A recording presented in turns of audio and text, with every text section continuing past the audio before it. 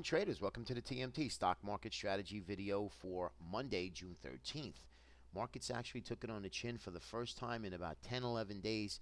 Um, this euphoria of buying on no volume, we mentioned that. We talked about it uh, in the videos, in the previous videos. I said, watch, look out for certain things as big red flags. Now, one day does not make a trend, but I do think that yesterday, excuse me, uh, Friday's selling was uh, was definitely dramatic, and it is, it's definitely an attention getter to the funds. Uh, so what happened? Well, uh, in the pre-market, we had global year 10-year yields um, really take it on the chin. Compliments of StockCharts.com. You could see here U.S. Uh, equities, U.K., Germany, Japan. Uh, they all took it on the chin. And what happens to bonds? Bonds actually exploded higher. Now, here is what I was. I showed you this many times. This is a 30-year weekly bond. This line represents a 20 year uptrend line of resistance. 20 years. It's significant. I just I'm just blowing this up so you can see where we are here. Um, if this were to break out and we get two uh, two closes above this trend line, guys, it's going to be a game changer for equities, at least in the short term. Uh, and that's also going to fall into place about the risk event that we have. We have the Federal Reserve this week. We have non um, we have triple witching expiration this week, and then of course we got the Brexit vote next week. So um, a lot of lot of stuff to digest if you're heavily long. Um, my guess is that I think we see some selling coming in. I'm going to show you some levels that I'm looking at, um, but it's it's well not only is it well overdue, but nine days of rallying on on no volume with no news, no real economic news coming out. Um, you know, if anything, was just all bad news, and it just continued to rally the market. So um, I do think the Fed is not going to rally. Fed fund futures pricing in uh, like a 10% move, uh, 10% um, uh, that the Fed's going to go. So there really is a non-event, uh, and I think it's priced in already. So even if they don't move, I think you're not going to see much of a reaction because um, the Fed, uh, because of the fact of what has happened um, in the last couple of days. Now, on top of that, if they do raise, then you're going to see uh, a, a, real nice sharp sell-off in the markets. Okay, but I don't think that's going to happen, so we got to worry about that for July. Now, the Brexit vote, I do believe they're not going to move uh, either. Um, that would just create havoc worldwide on everybody's economy. Dollar will would rip to the upside. Gold would just go to the roof uh, and then equities and risk off would happen very, very quickly. So you have to be prepared for that as traders. If you're running your own book, you have to be aware of that, okay? So anyway, here is the USB Weekly, and I wanted to show this to you that we're just about on the cusp here of breaking out. Now, Monday starts, today starts a new week, so let's see what happens if we break out or do we fall back down to the 20 again, okay? It looks like every time we get close, we don't do it. So maybe this, maybe there might be enough fear out there, uh, just maybe, that fear is starting to build up and uh, this thing does pop. And I, I do believe if that does happen, why would it hurt equities? Because money will come out of equities and park into a safe haven trade. Eventually, you'll see the dollar get bid up, which it did Friday. Dollar actually rallied. You'll see gold get bid up, which it did as well. Okay, and equity sold off, and bonds actually were bid up too. So you have that safe haven trade is happening again. All right, so just something to think about um, going into this week. Be prepared. All right, let's take a look now at um, our VIX. Remember I said, uh, guys, watch the VIX. And by the way, um, you know, I, I, mentioned, you know, we're the TMT. We're running a, a, special in the dark pool trading room, guys. If you're trading by yourself, we're running a special for 249 that we have. We're dropping it to $49 just for a, an introductory offer. It will go back up again absolutely take a look at it. Get into the room. It's $49. Professional traders trading in front of you with an algorithm dark pool trading uh, index where we look um, and fully automated trading signals uh, off of the four indices. So you really should check it out. Go to the website, supportedtradingmarkettechnicals.com. Don't trade alone. Trade with uh, with a group of, of, of talented traders. Right, and on top of that, you can see here the VIX. I said, watch, guys. We're really tightening, and sure enough, uh, we've exploded, and it had we haven't even gotten anywhere yet. Right here, just so you get a, a good handle, this is the area right here. If we take out 17 and a half, 7, well, we did take out 17, but if we take out like 17 and a half, which we're right there on a closing basis, I think you're going to see this thing really rip higher and then again probably come in and then rip higher yet again.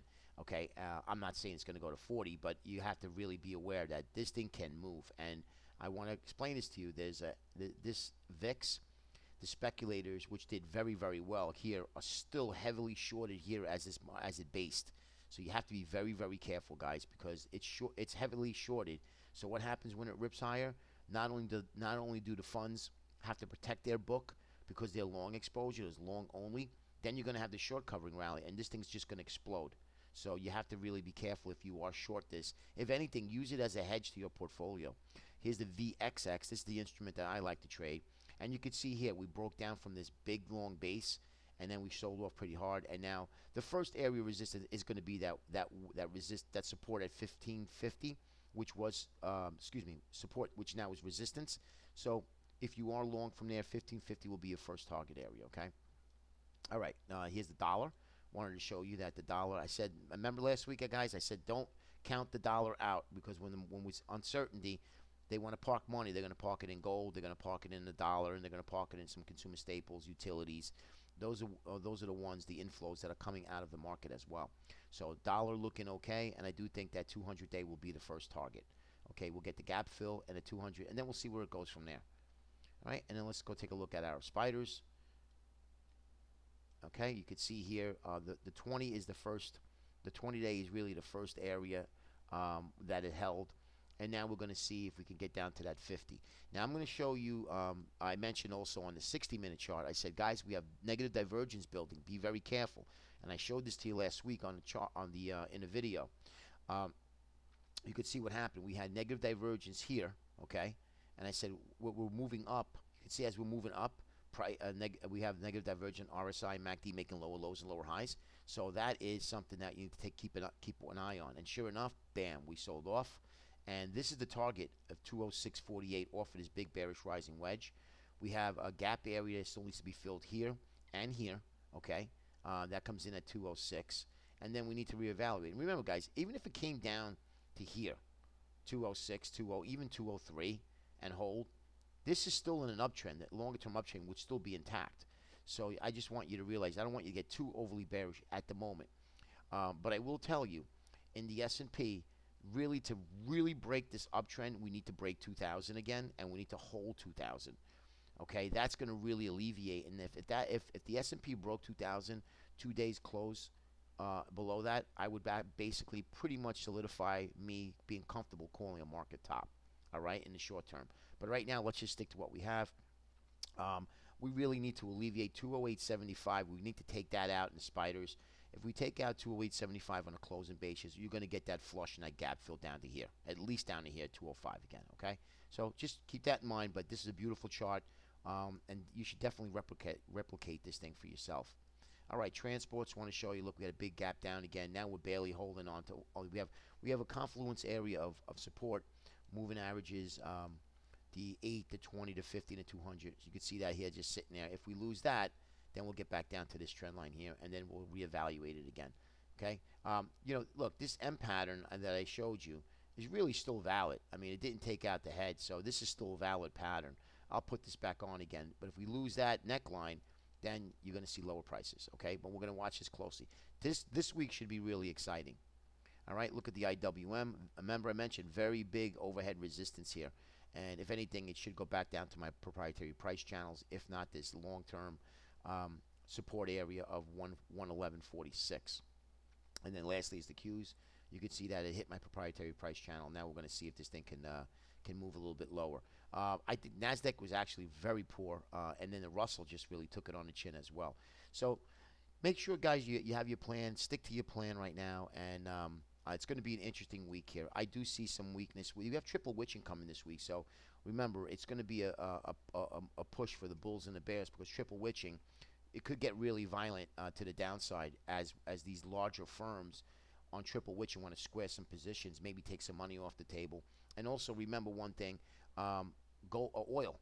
Oil uh, is topping now, and oil looks like it's ready to take some profit taking. If that happens, all these oil stocks that are heavily weighted in the S&P is going to help the bearish case, at least in the short term. Hope it helps. We'll see you tomorrow, guys. Take care.